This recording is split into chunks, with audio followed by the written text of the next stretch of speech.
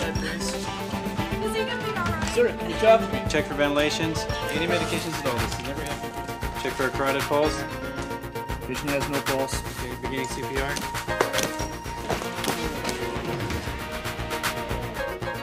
Analyzing now. Analyzing now. Scan clear. Shock advised. Clear the patient. I'm clear, you're clear, everybody's clear. First shock's on board. Machine is now analyzing. No shock advised. Checking for pulse. I've got a pulse.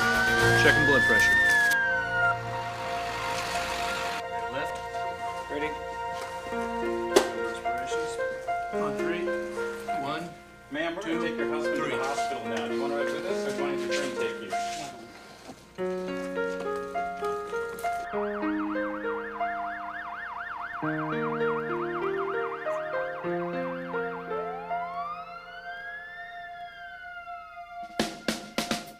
What you've just seen is a dramatization of a patient in cardiac arrest. A first responder used the LifePak 500 AED, or automated external defibrillator, to stop a chaotic heart rhythm called ventricular fibrillation. The defibrillation shock allowed the heart's natural pacemaker to resume an organized, perfusing rhythm. This video will give you an overview of the operation and basic features of the LifePak 500 AED. For complete details on its operation, you should refer to the operating instruction manual.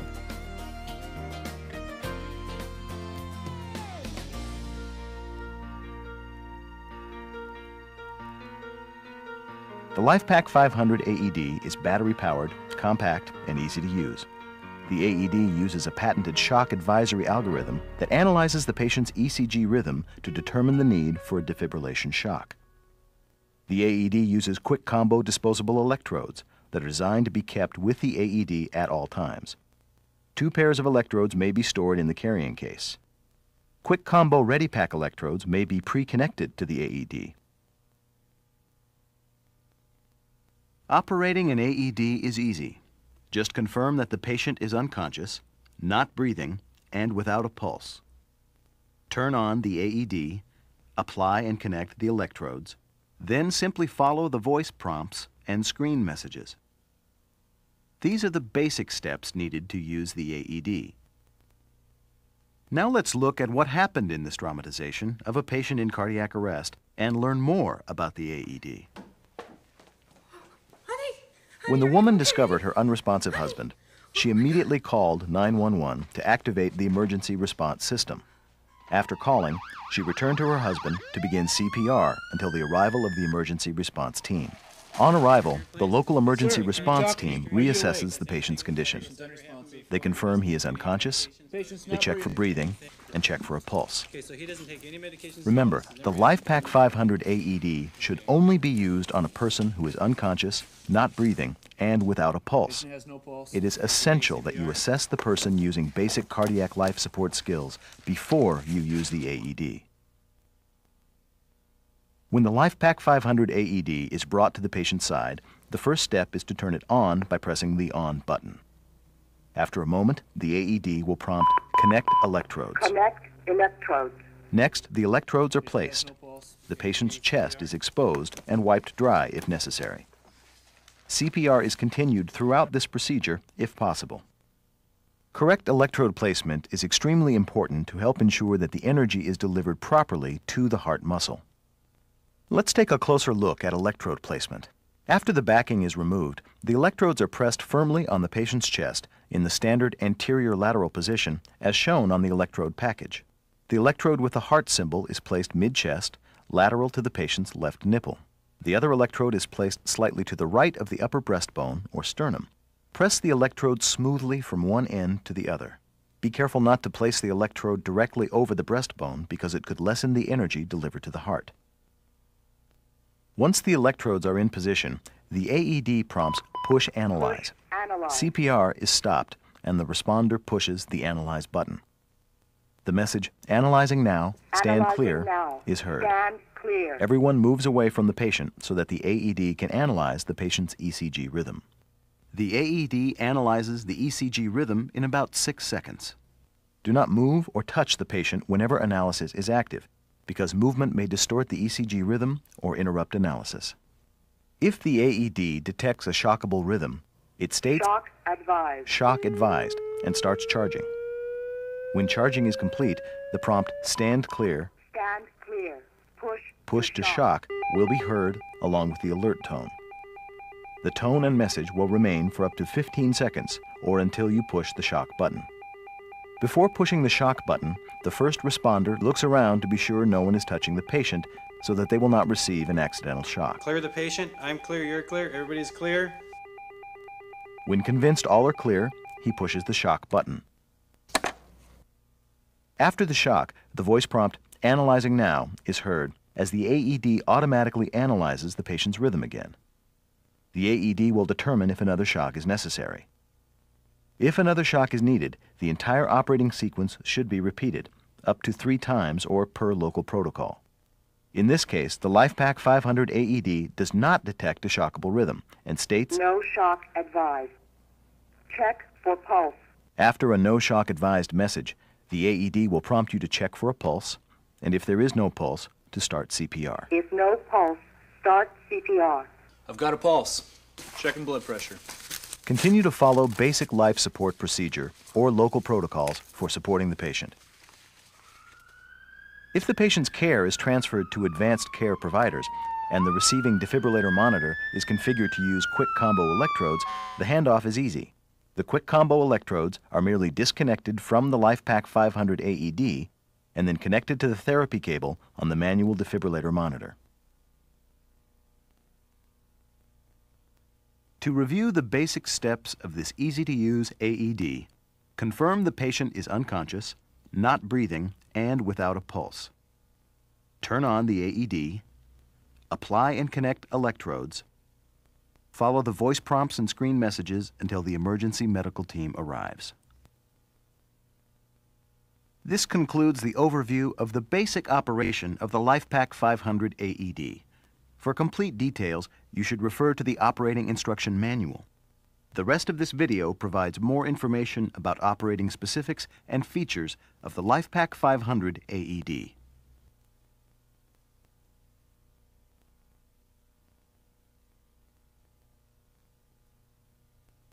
Now let's consider some of the specifics about operating the LifePak 500 AED. The AED can be powered by two types of battery packs a rechargeable SLA, sealed lead acid, or a non rechargeable lithium battery.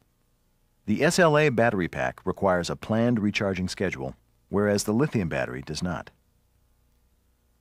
At room temperature, a new fully charged SLA battery pack can deliver approximately 60 shocks at 360 joules. SLA battery packs should be replaced after two years or 200 charge cycles. To properly maintain an SLA battery pack, recharge after each use or once a month if not used. Use only the Physio Control battery charger designed for the LifePak 500 AED. Do not expose the SLA battery packs to temperatures greater than 50 degrees Celsius or 122 degrees Fahrenheit. A new non-rechargeable lithium battery pack has a shelf life of 5 years and will provide approximately 300 shocks at 360 joules when properly stored. To maintain lithium battery packs, store battery packs at room temperature. Do not expose battery packs to temperatures greater than 50 degrees Celsius or 122 degrees Fahrenheit.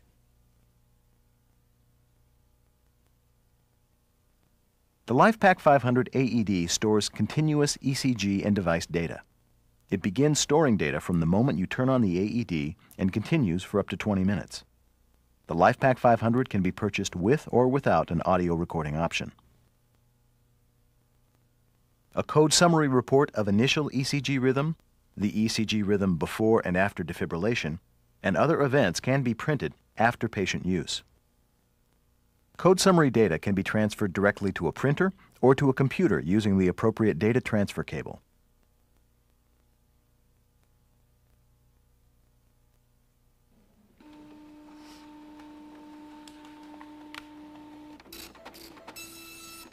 For a detailed description of the summary report, refer to the operating instruction manual. Audio and continuous ECG data can be transferred to a PC either directly or by modem at the end of a patient use. This data is reviewed with the QuickView 500 data review program. Refer to those separate operating instructions for a more detailed description about the QuickView 500 features. The LifePak 500 AED has several options that can be configured prior to putting the AED in use. You can give the AED a unique identification number, program a phone number and select a modem for transferring data to a computer. Choose between a three shock energy sequence of 200 200 360 or 200 300 360 joules. Set CPR time to be either zero or one of several intervals between 15 and 180 seconds. Enable the AED to analyze the ECG rhythm automatically between shocks.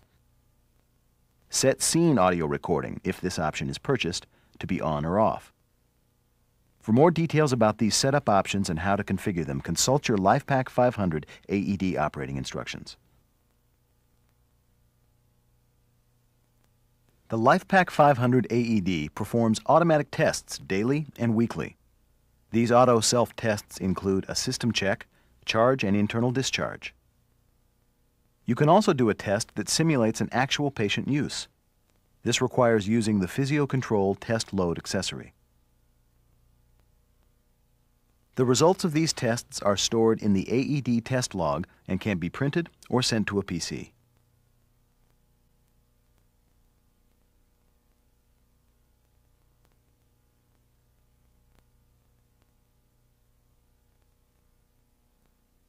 If the battery gets low, you'll see the low battery symbol and message. You should replace the battery at your earliest opportunity. If the replace battery message and voice prompt occur, Replace battery. you must replace the battery immediately. To replace the battery, lift the latch release on the battery and slide it out. Next, insert the connector end of the new battery and slide it in all the way until it latches securely.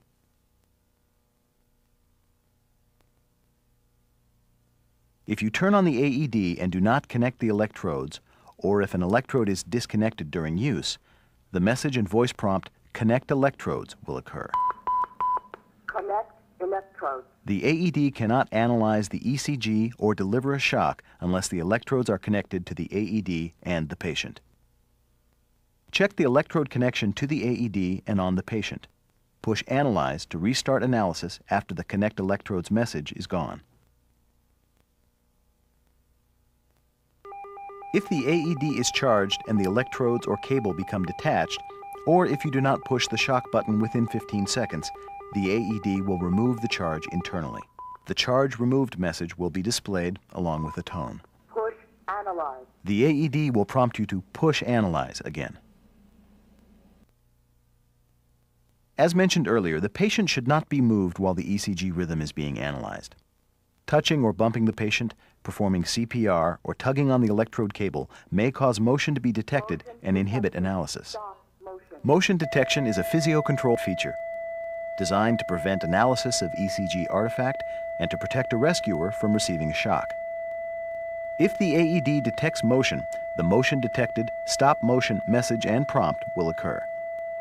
You need to stop touching the patient, stop CPR, cardiac compressions, and manual breathing. And check other possible causes of motion if present, such as check if the patient is breathing, stop any vehicle movement, move away handheld communication devices or other equipment that may emit interfering radio frequency signals. If the motion stops within 20 seconds, the AED will continue its rhythm analysis. If the motion does not stop within 20 seconds, the device will stop analyzing. You'll need to stop the motion and push the Analyze button again to get the Analyzing AED to restart analysis of the patient's clear. ECG rhythm.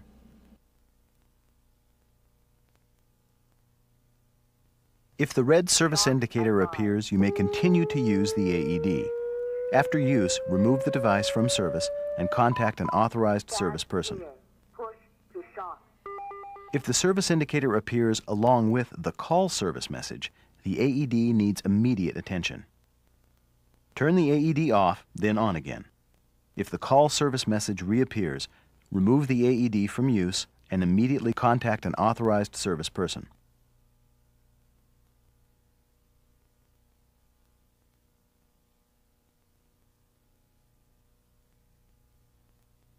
Finally, here are some key items to remember. The LifePak 500 AED is to be used only on persons not breathing and with no pulse.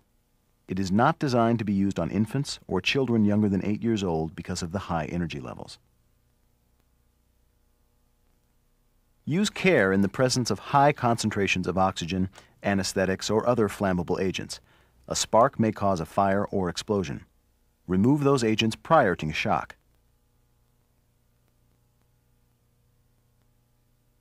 Keep the AED cable connector protected with its cover or pre-connected electrodes. Water or other fluid in the AED connector may damage the AED or present a fire or shock hazard. To clean the AED, use a sponge or towel moistened with mild soap and water. Rubbing alcohol and solutions containing quaternary ammonium compounds or peroxide may also be used. Do not use acetone to clean the AED. To review the basic steps of this easy to use AED, confirm the patient is unconscious, not breathing, and without a pulse. Turn on the AED, apply and connect electrodes, follow the voice prompts and screen messages until the emergency medical team arrives. This is the end of the LifePak 500 AED in-service video. Be sure to refer to the operating instructions manual for more detailed information. Thank you for choosing the LifePak 500 AED from Physio Control.